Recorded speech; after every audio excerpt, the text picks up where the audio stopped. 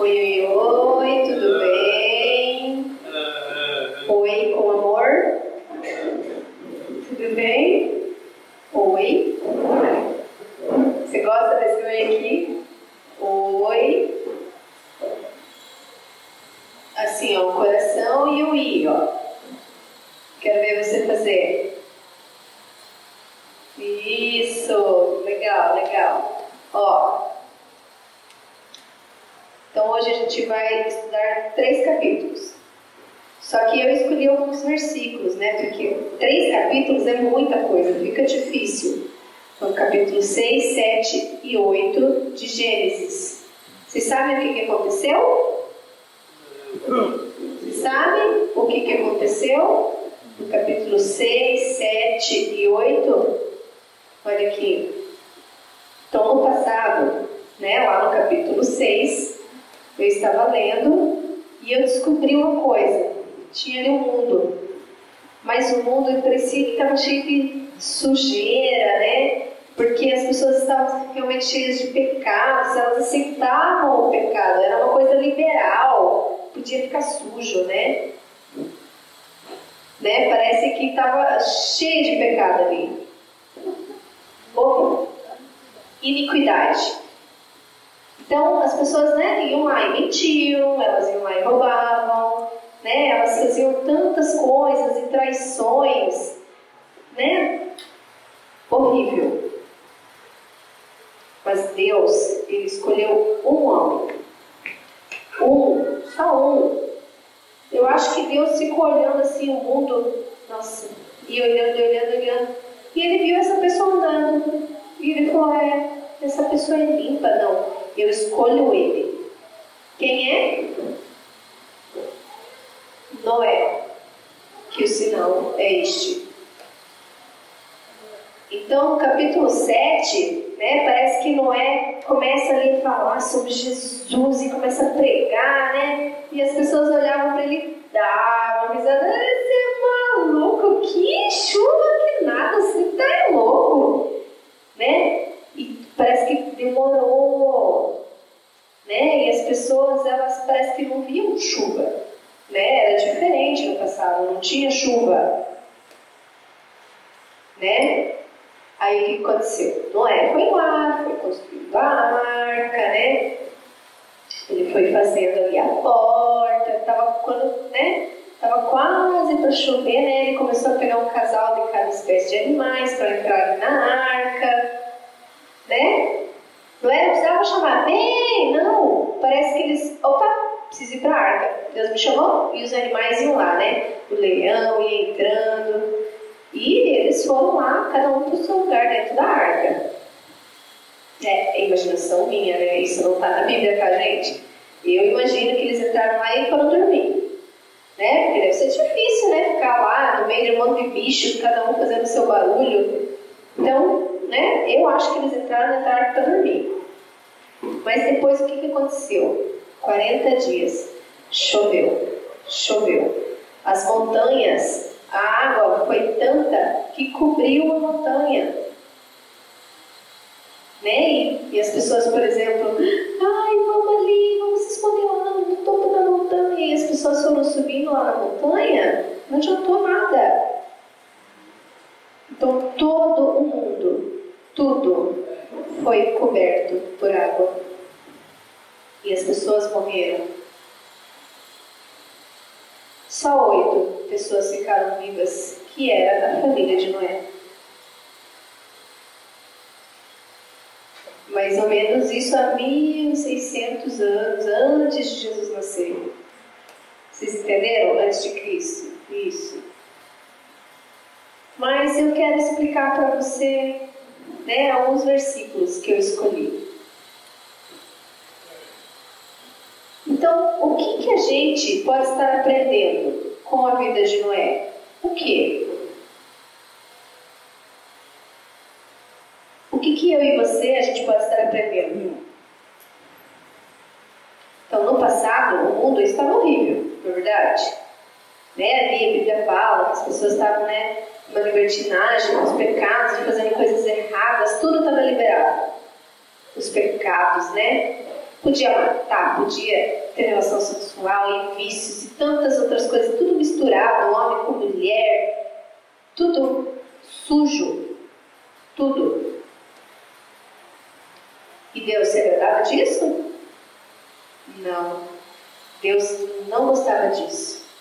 Então só Noé né? Ele orava, ah, Deus me ajude para que eu seja puro, para que eu seja limpo, como é que eu posso fazer e tal. Mas o que aconteceu? Antes de Cristo, né? No tempo antes de Cristo. E hoje?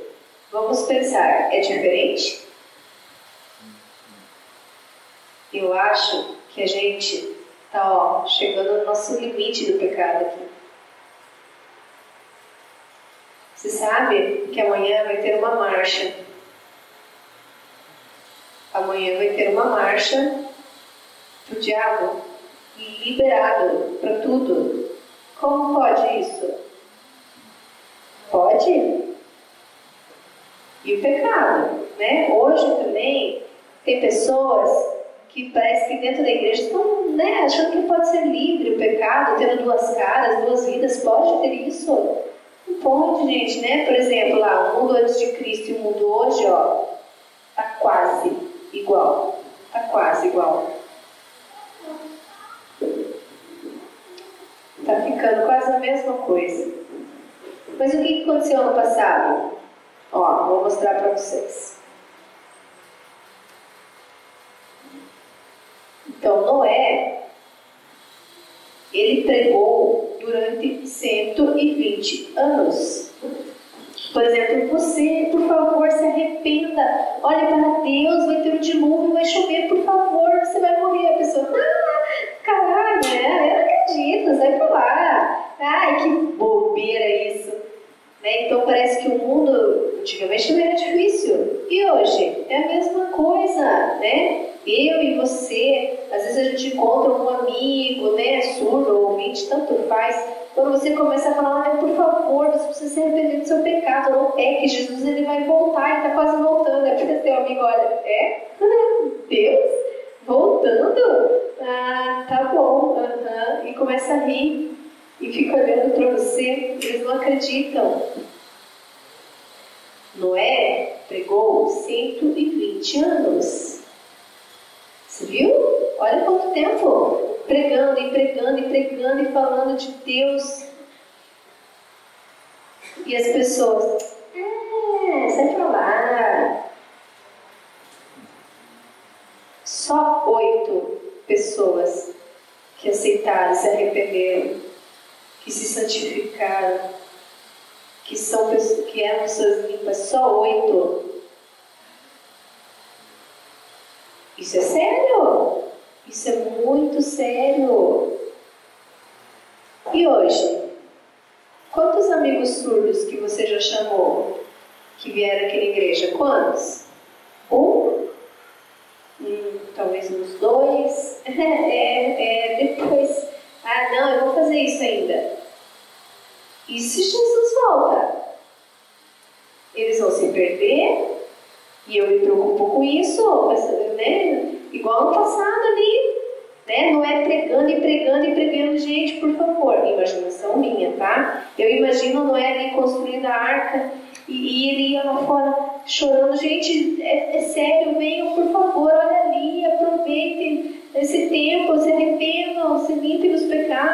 pessoas, ah, vai, sai pra lá, que bobo você. E começar a rir, provocar e caçoar. Difícil? Então, o mundo de Noé antigamente. Então, olha lá, em Gênesis capítulo 2, versículo 8, fala o quê? Que nunca tinha chovido no mundo. Nunca teve chuva. Aí você pensa, ah, mas como que a árvore ia viver e as coisas. Né? Então, 2,8 fala o quê? que a água, né, a árvore estava ali e ela não precisava chover, ela pegava a água que tinha embaixo da terra. Né? É como se só tivesse água ali, embaixo da terra, na árvore. Então ela sugava essa água debaixo da terra. Então por isso que as pessoas não acreditavam em Noé. Porque Noé falava, olha, vai ter uma chuva dele. Hã? Chuva? O que, que é isso? Eu não sei, não conheço essa palavra, chuva. Ah, desculpa, não sei o que você está falando. Ah, você tá louco, você está falando sinal de chuva, falando, é, vai pra lá. Não seria a mesma coisa que hoje? Se você falar, olha, Jesus está voltando, as pessoas, Jesus está voltando. Ai, claro que não, você está é maluco, você está ai que quadrado. Eu acho que você tem problema na cabeça. Seria uma comparação. Não é verdade?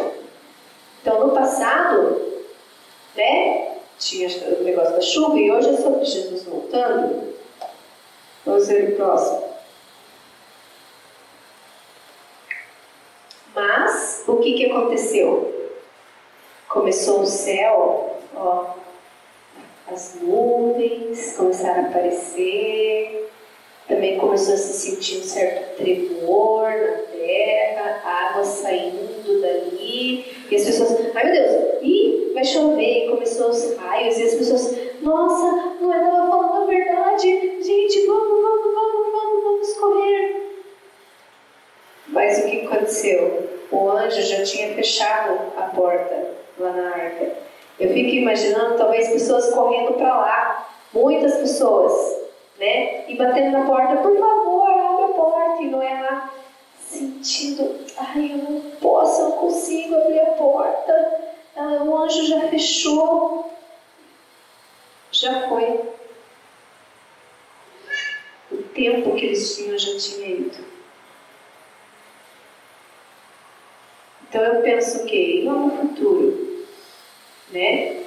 Algumas pessoas não vai acontecer isso, né? Você já explicou sobre Jesus, você já pregou sobre Jesus, falou de tantas coisas da Bíblia, falando sobre arrependimento, chamando a pessoa para ir na igreja, chamando para ir em retiro, chamando para ir em congresso, para curso, para estudar, e chamando e chamando e chamando, e a pessoa, é não.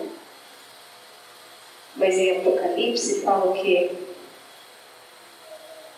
Que todas as pessoas irão ver quando Jesus voltar. E quando ele chegar, as pessoas, meu Deus, ai, ai, onde está aquele meu amigo que falava de Jesus? Ai, encontrei, por favor, me ajuda, ora para mim. E daí você vai a explicar, explicar, explicar, mas o tempo já foi. Ou às vezes também, você está tendo ali uma vida normal, né? Você vai lá, dirige seu carro, tá lá dirigindo, né? Bonitinho. Liga lá seu GPS. Ai, o GPS caiu. Ai, peraí que eu vou arrumar. E você olha para baixo e você não está olhando para frente. E o que, que acontece? Um acidente. E os carros capotam e você morre. E daí? Você vai abrir o olho e vai falar: opa, tô no céu? Tô no inferno? Onde que eu tô? Ah, tem uma porta. Ai, deixa eu ir lá. E você vai. Oi, aqui é o céu? Peraí, que eu vou olhar aqui no livro, tá? Peraí, qual que é o seu nome? Ah, meu nome é esse. Ah, ok, só um pouquinho. Como? Não, peraí que eu não tô achando teu nome. Teu nome não tá aqui, não. Não, ele tá sim. Eu lembro um dia que eu orei que meu amigo orou por mim, que ele me abençoou já. Ah, tá, mas você, você já aceitou Jesus, você estava seguindo a Jesus. É, e precisava disso? Precisa ter arrependimento? Precisava aceitar Jesus, batizar? Ah, desculpa, eu não sabia disso. Agora posso? Posso fazer agora? É, desculpa não dá. Olha aqui, ó, já foi. E daí o que acontece? Vem lá os anjos, né? E vem lá os demônios e pegam você e te levam. E você lá tenta tirar e começa a agonia e te levam para onde? Lá para o inferno. Ui, ui. Nossa, dá até um sentimento ruim, não é verdade? Mas e o tempo? Cadê o tempo do arrependimento? É agora. O tempo de, para a sua vida é agora. De transformação é agora. O tempo é agora. Olhe para Deus. Agora. Hoje é o tempo. Peraí, vamos ver mais. Então ali, está falando o quê? Sete dias os animais foram entrando na arca. Eu fico imaginando, né? O povo olhando lá. Nossa, que bonitinho, né? Olha os casais de animais entrando ali, que bonitinho. Ai, que bobeira isso, né? Ai, deixa eles lá. Mas os animais estavam lá, tinha uma fila. E entrando, todos entrando, certinho. Entrando lá, tá? Minha imaginação, gente. Eles entrando, cada um pro seu lugarzinho, dormindo.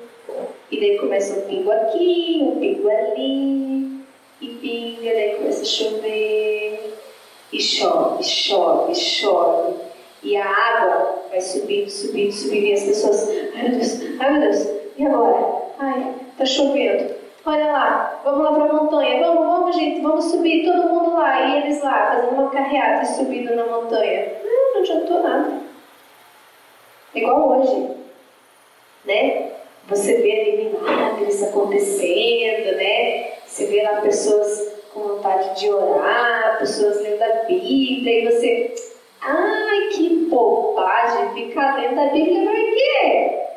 Ah, para quem ir na igreja? Por quê? Orar precisa? Ah, por que isso? Então, é igual as pessoas, né? Estavam lá, os animais entrando na arca, e as pessoas perguntavam, ah, por que, que o animal está entrando ali na arca? Nada a ver. Mas depois, o tempo já se perdeu.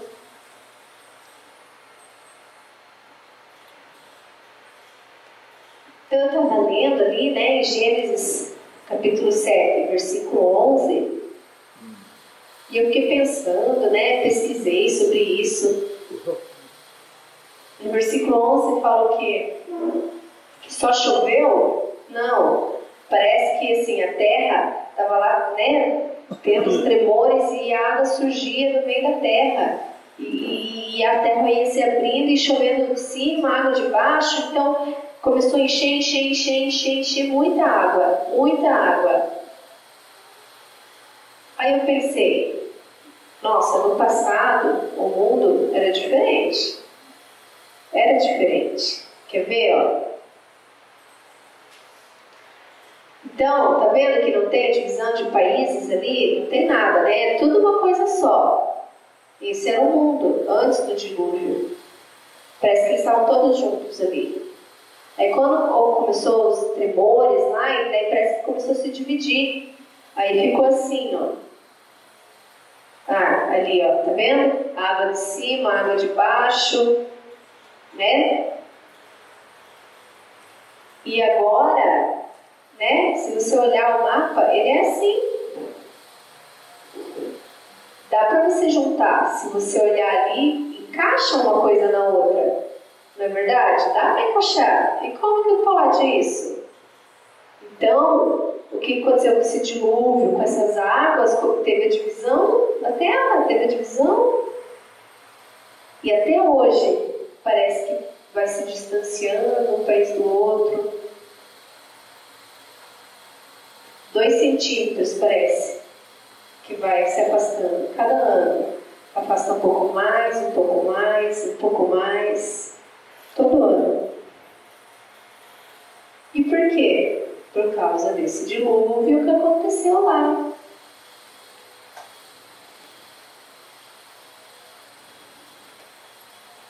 Também vocês viram ali, né, o arco-íris. Então, quando começou a chover, Aí depois que a chuva parou, a água começou a baixar, certo? Então Noé estava lá, né, na arca, e ele começou a olhar, ah, eu já estou vendo uma montanha ali, estou vendo outra ali. Então ele pegou lá um pássaro, né, uma pomba, soltou, e daí depois soltou outra, e ficou esperando, ficou esperando. Se ela voltar, é porque ela não tinha uma árvore para ela sentar, certo? Agora, se ela sumir, é porque ela achou algum lugar para ficar. Vou esperar. Ai, não tá vindo. Ah, ela não voltou. Ah, então eu posso abrir a porta da arca e sair. Depois de 150 dias, a água começou a baixar, baixar, baixar. Mas Deus né, se encontrou face a face com Noé e falou: Olha, eu sinto muito por causa dessas mortes todas, mas eu nunca mais vou mandar um dilúvio igual a esse. Então, sempre, quando você vê lá no céu um arco-íris, você pode acreditar nessa minha promessa, que ela é verdadeira. E não é, ah, entendi, ok, vou memorizar isso. Então, quando tiver arco-íris, é porque é sua promessa, né? Ok, então muito obrigada, Deus. E hoje, né, se você chove lá, né, às vezes você vê o arco-íris lá, você, ai, é, não vai ter dilúvio, não vai mais haver aquela destruição. Entendeu? Porque Deus prometeu isso. Vocês entenderam? Então eu escolhi um versículo para a gente estudar. O que, que a gente pode estar aprendendo com Noé ou com o dilúvio? O que? Olha lá. Porém, Noé achou graça. É sinal de achar graça diante né, do Senhor. Né? Então ali parece que o português não está muito claro ali, ó. Porém, Noé achou graça diante do Senhor. Vocês entenderam? Não, né? Então olha aqui. Então Deus estava ali, Noé estava ali, certo? Então Deus olhou para ele nossa, eu gostei dele. Ele é uma pessoa limpa, uma pessoa pura. É isso que significa. Entenderam? Então é igual Deus olhar e sentir prazer, não é essa graça ou de graça. Tá? Parece que é um prazer, é uma coisa diferente, é um significado diferente. Né? Um contexto diferente. Vocês entenderam? Né? Porque parece ali você, né? Ai, Noé, encontrou a graça, ah, ele encontrou a graça diante de Deus. É, é assim, né? Parece meio confuso, mas não. Significava o quê? Que Deus olhando para ele se sentia alegre, sentia um prazer e, e escolheu ele por isso. E o que a gente pode aprender com isso? Olha lá.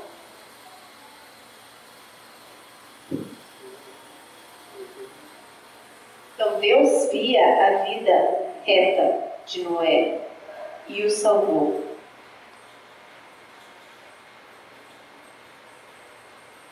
Então vocês, né, se vêm aqui para o culto, sempre aos sábados, olha, parabéns. Mas e domingo? O que, que você faz? E na segunda? Terça? Quinta, sexta-feira, o que você tem feito? Deus viu a vida de Noé. Ele viu a vida de todos os dias. Ele não queria coisas erradas, ele queria ser uma pessoa santa, uma pessoa pura, uma pessoa correta diante de Deus. Ele sempre olhava para Deus. E você? Você sabe o dia que Deus vai voltar? Ah, é sábado? Ah, ser no sábado. É? É no sábado? Não sei. Não é verdade? Então, eu preciso que a minha vida esteja limpa todos os dias. De manhã, quando você acordar, você pensar em Deus. Ai, peraí, ai, Senhor, eu já me arrependo. Ai, me limpa, por favor, hoje nesse dia. Conduz a minha vida, me ajuda, por favor, tá, Deus? Não é? Era assim. Por isso que Deus olhou para ele. Nossa, ele é diferente. Ah, não, eu escolho ele, eu vou salvar ele. Né? Mas e as outras pessoas? Né? Elas desprezam a Deus, não dão ouvido o que ele fala. Isso é muito sério, gente. É muito sério, é perigoso. Não, é muito perigoso. É muito perigoso.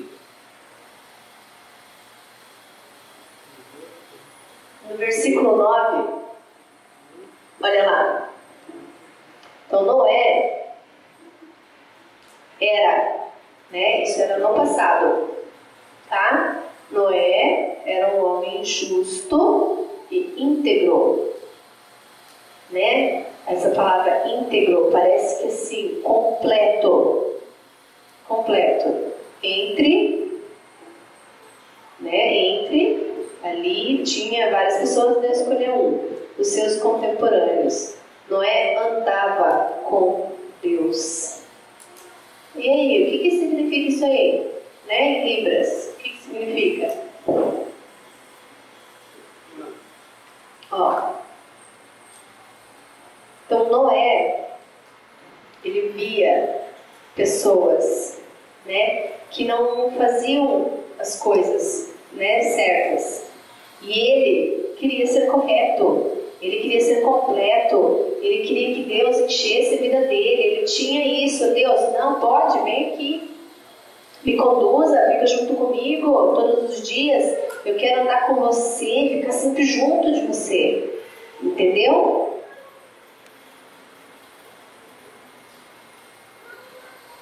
E você, como é a sua vida?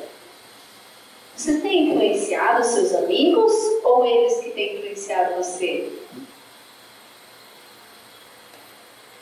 Você tem feito alguma coisa para o mundo mudar? Ou é o mundo que tem feito você mudar sua visão, suas ambições? É sério? Olha lá.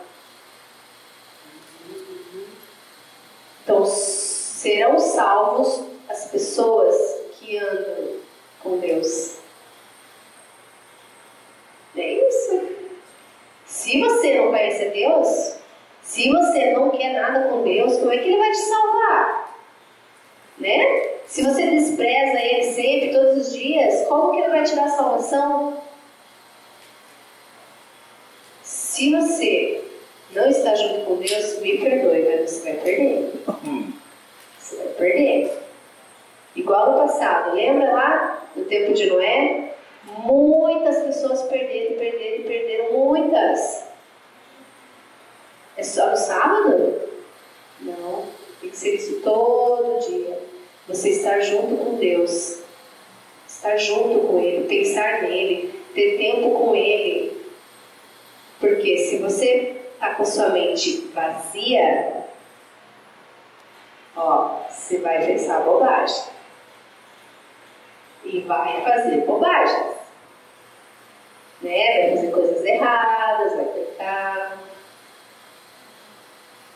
E você? Você está junto com Deus? Você está andando com Deus?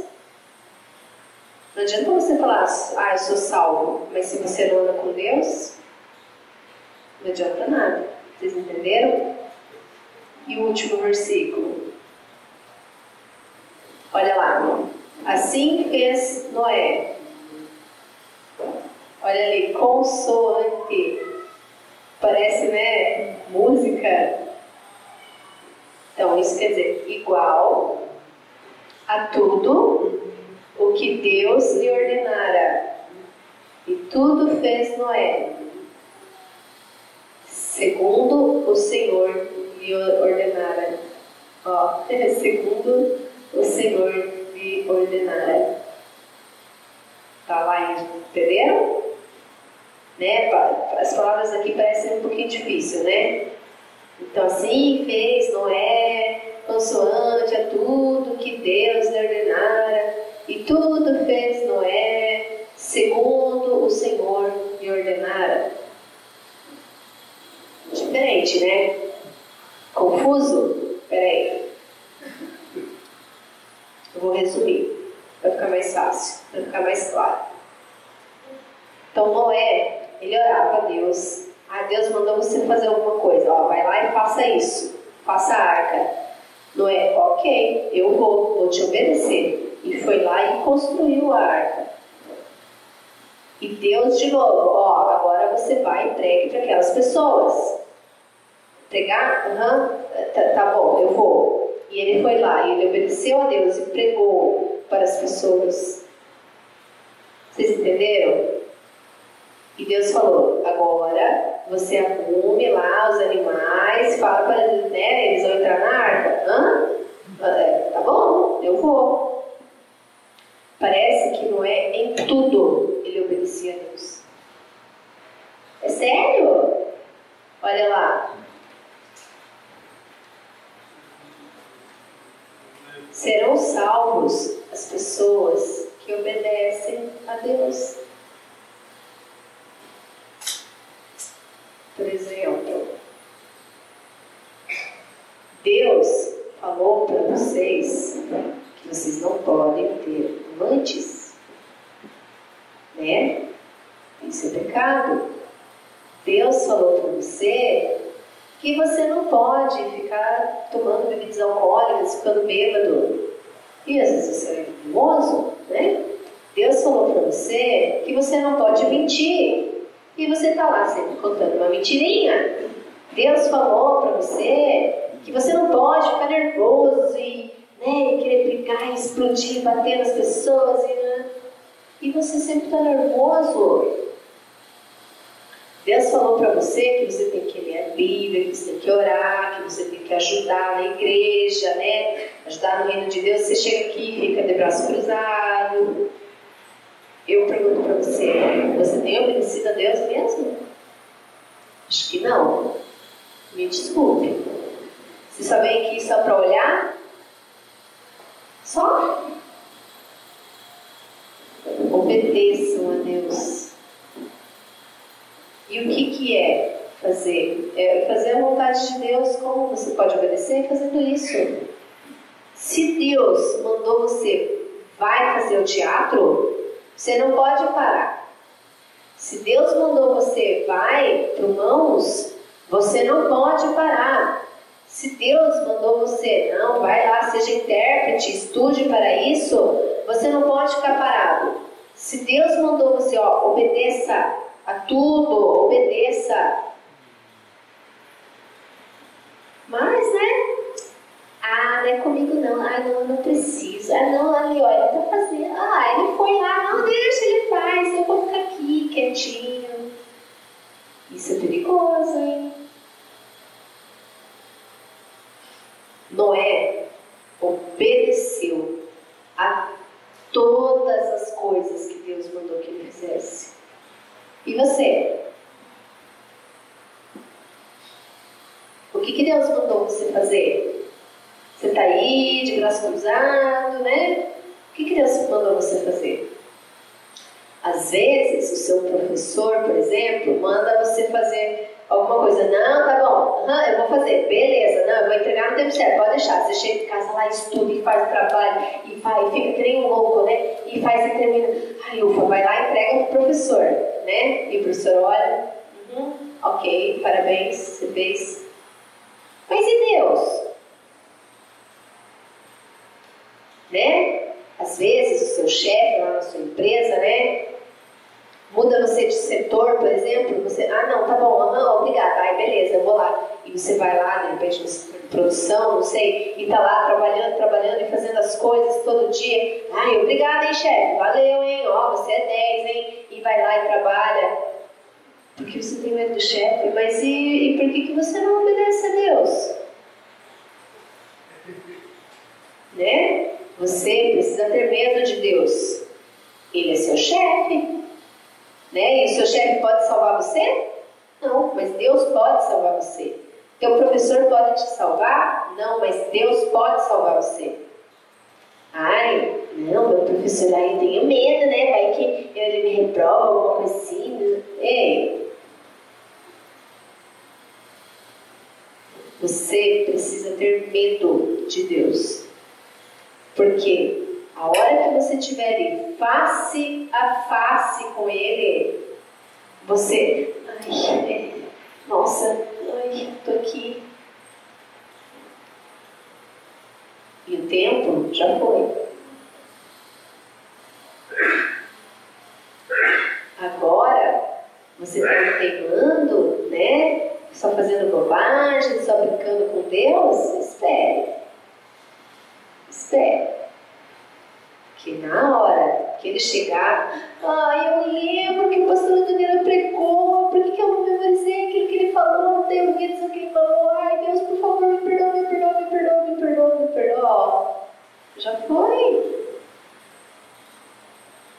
Então, hoje, vocês podem mudar de vida. Hoje, você e você pode começar o quê? Estar junto de Deus. Hoje, vocês podem começar a andar com Deus. Hoje, vocês podem começar o que? A obedecer a Deus. Hoje, vocês podem começar a servir de verdade a Deus, uma coisa séria. E quem tem esse desejo? Quem? Porque muitas pessoas vezes, ficam olhando ali, né, se emocionam, né, e, né, nossa, que pesado, que forte o que ele falou, né, mas chega amanhã, hum, esqueceu. Chega segunda, você nem lembra. Terça, então, ixi, quarta, quinta. Aí chega no outro sábado, ai, eu vou assistir o culto de novo. Ai, vou aprender, vou aprender. Nossa, tô curioso para ver o que, o que, que a vai falar hoje. Nossa, ai, que emoção. Ai, eu tô sentindo, ai, eu preciso mudar. Aí muda, chega domingo, esquece, de novo.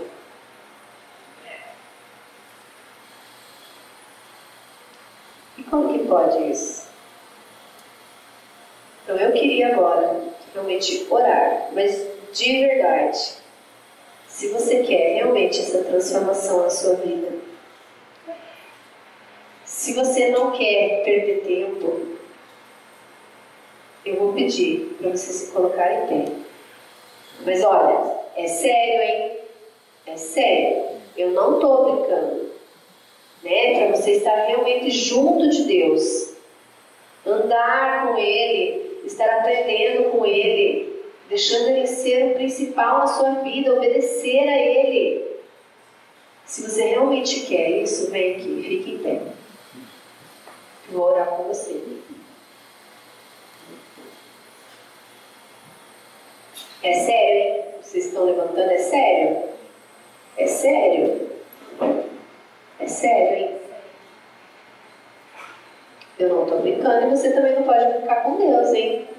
É loucura se você fizer isso. Ah, não, melhor não. Então fica sentado. Se você tem dúvida, fica sentado. Não tem problema.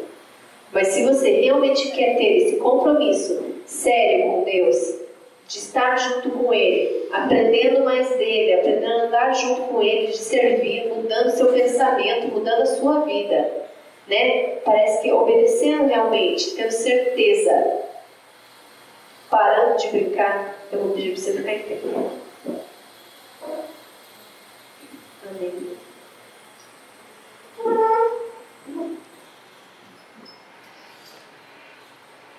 Eu vou orar por vocês. Senhor Jesus, se nós olharmos né, toda a história do mundo, do passado, como eram as coisas, né, as pessoas não a ti, as pessoas te desprezavam, as pessoas brincavam e caçoavam de ti. Elas só pensavam no pecado, pegar coisas mentiras, libertinagem, tanta coisa misturada, Deus. Mas hoje o mundo já está quase igual ao que era.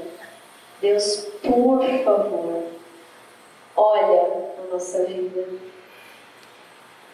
Que você, a minha vida agora, que essas pessoas que estão em pé, que o Senhor olhe para cada uma delas, Deus, por favor, que realmente a vida esteja aberta. Se encontrar sujeira, Senhor, tira. Você pode, você tem liberdade para isso e nós nos arrependemos, se nós temos orgulho, que ele se quebre. Se a gente tem, às vezes, né, achando que a gente é melhor, que a gente não seja assim, que isso pare.